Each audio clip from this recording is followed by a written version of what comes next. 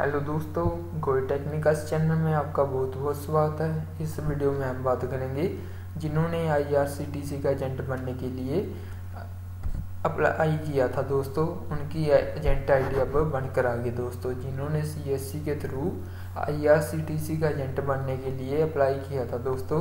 उनकी agent ID दोस्तों बनकर आ गई है। दोस्तों, उसका पूरी लिस्ट हम आपको इस वीडियो में दिखाएँगे दोस्तों। क्या क्या क्या उसमें हमें दिखाया गया दोस्तों। इस वीडियो में आगे बढ़ने से पहले दोस्तों आपसे करूँगा गुजारिश। अगर आपने हमारा चैनल अभी तक सब्सक्राइब नहीं किया है तो इस चैनल को सब्सक्राइब कर लें और सा, इस साथ में दिखाई देने वाली घंटी को भी ज़रूर प्रेस कर लें क्योंकि दोस्तों भविष्य में ऐसी बहुत सारी वीडियो आती रहती हैं जो आपके लिए बहुत काम की होती हैं।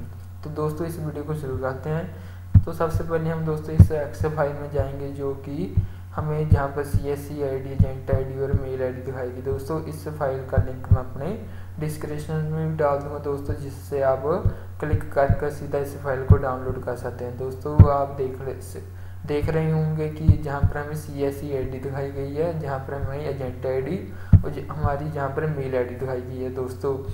आप देख सकते हैं, दोस्तों, जहाँ पर सभी स्टेट की सी एस सी आई डी है, जो I R C T C ने अप्लाई किया था दोस्तों, सभी की आई आईडी अब बनकर आ गई। दोस्तों, आपने क्या करना है दोस्तों?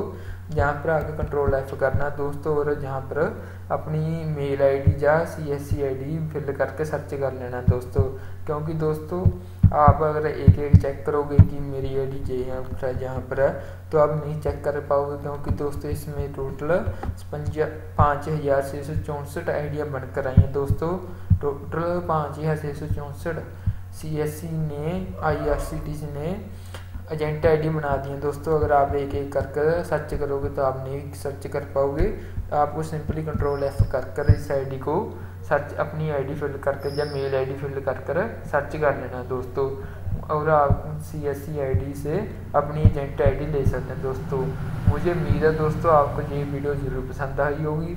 अगर आपको यह वीडियो पसंद आई हो दोस्तों तो इस वीडियो को लाइक और शेयर करें और ज़्यादा से ज़्यादा इस बी एल भाइयों को, इस इन्फॉर्मेशन को पहुँचाएँ, क्योंकि दोस्तों हमारे कई बी एल भाइयों को बहुत मुश्किलों का सामना करना पड़ रहा है दोस्तों।